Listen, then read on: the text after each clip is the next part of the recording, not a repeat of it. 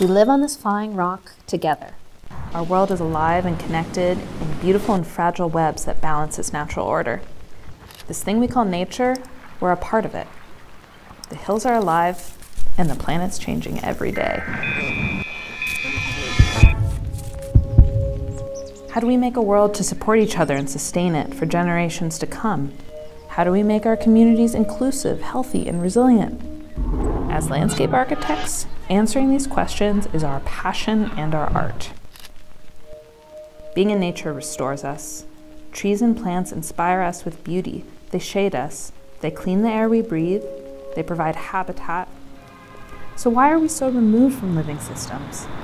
Because this used to be the dream. But dreams change, and so do places. We design urban ecologies that delight and restore.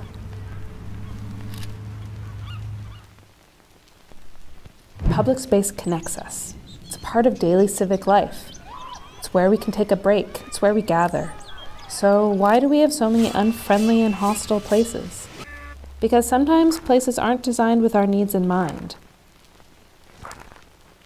When places don't meet our needs, we improvise. But we can do better. We can make public places that are inviting, comfortable, and full of life. We do research, we brainstorm, sketch, model, animate. We work with stuff to see how it all fits together. And this is what we make.